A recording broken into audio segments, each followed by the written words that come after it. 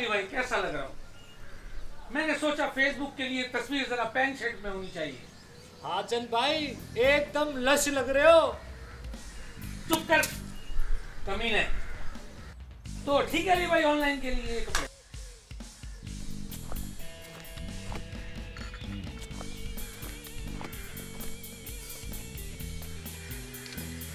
अरे दफ़ा हो।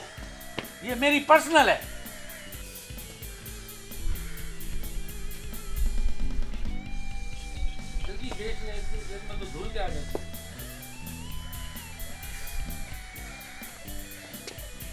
नहीं यार।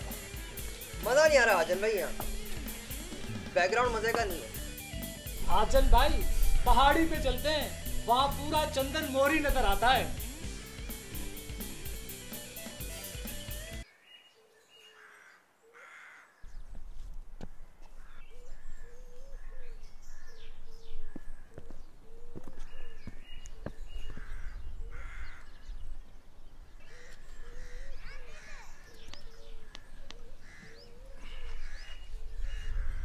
अरे क्या करवा रहे हैं अली भाई?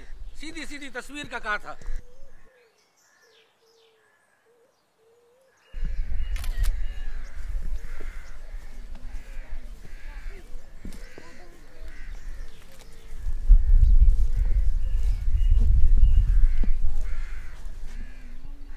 वैसे अली भाई बैकग्राउंड से क्या होता है? अरे बैकग्राउंड की तो गेम है सारी। बैकग्राउंड में Burj Khalifa statue of liberty Eiffel tower जितना बड़ा बैकग्राउंड उतना बड़ा इम्प्रेशन मेरा मतलब है भरम दामान दामान।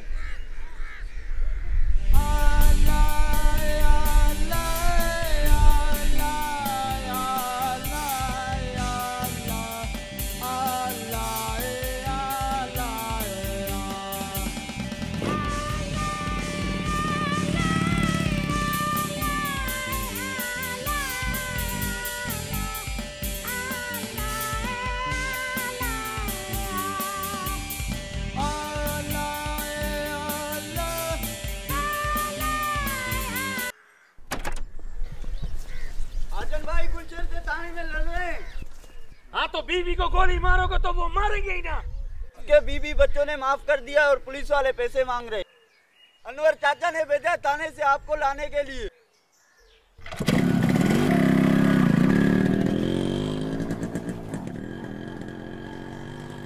सही बात ऊपर तक चली गई है। जुर्माना तो देना पड़ेगा। साईं अब बंदा तो छोड़े।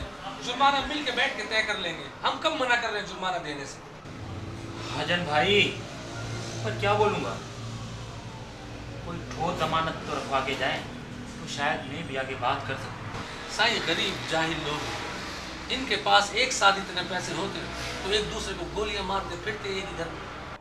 हाजन साहब गोलियों के दम पर इस खानदान ने जितना माल बनाया है ना उससे आप और मैं अच्छे से वाकिफ हैं। ये तो मैंने आपके साथ खाया पिया है तो कोई रास्ता निकाल रहा हूँ। वरना गोली मार कर कत्ल करने की कोशिश में कम से कम आठ साल के लिए अंदर जाता ये। साईं अली भाई की गाड़ी आपके पास रखवा के जाते हैं। चार पाँच लाख रुपए की तो होगी। ओ हाजन भाई मेरी गाड़ी खराब है। अली भाई।